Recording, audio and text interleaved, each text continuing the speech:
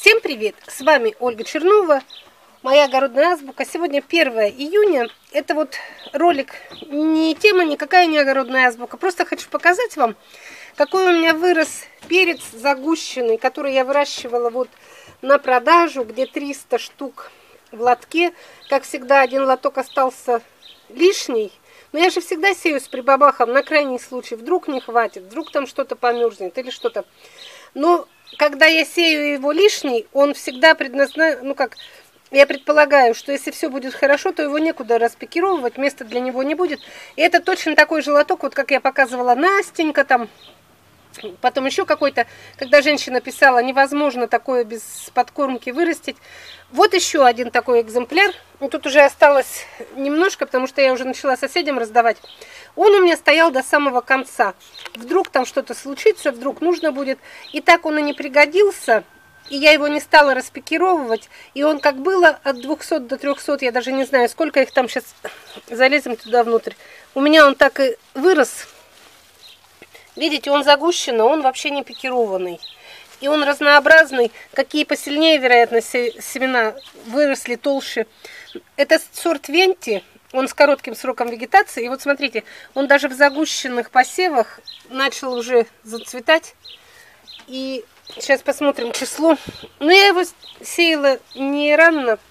Так, лоток номер 17, перец Венти 2 февраля, ой, 2 марта.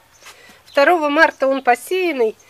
И что хочу я сказать вам интересно. Вот у меня сегодня он еще был и целый. Потом я смотрю, думаю, ну куда его девать опять? Так же, как с безрассадными томатами. Они такие не, в таком качестве никому не нужны покупателям. Да мне стыдно, я даже не буду предлагать. Ясно, что они не распакированные все. Но они, смотрите, они тоже как хотят жить. У них такие как зачатки вот этих воздушных дополнительных корней. Это вот про то, что перцы не надо заглублять, все равно они корни не образуют. И вот сейчас вот так заглубить, он как попрет. И что главное интересно, в такой густоте у них никакой плесени не завелось. Ни одной черной ножки. Вот если бы выпал хоть один ряд, было бы видно, да? А вот эта каша-малаша, она сплошная. И я вот еще раз убеждаюсь, что вот в такой большой компании, где конкуренция, они почему-то получаются лучшие, то ли у них включаются какие-то внутренние резервы, что они прям такие хорошие. Ну, конечно, они не такие, как вот индивидуально-то я выращиваю, которые по стаканчикам разложены, все. Тут, естественно, у них и ствол одервеневший, и корни хорошие, но все равно для компании перцев 300 штук в одном лотке просидеть с 3 марта, апрель, май. Вот им сейчас 60 дней. И я не знаю, поверите вы на слово мне или нет, но я даю слово, что ни одной подкормки не было и никакого абсолютно ухода за ним не было, кроме полива. Потому что, особенно если вот этот он посеян на запас, я те распакировала, а этот стоит запасной, мне даже в голову никогда не приходит делать им какие-то подкормки, куда их подкармливать, если им и так тут вот ну, уже некуда. Если бы их подкормить, они бы, представьте, какие огромные, вообще бы, наверное, разрослись. Вот это про то, что наши растения, они такие удивительные, и мы, возможно, не знаем до конца, на что они способны, их вот этих потенциалов, их резервов.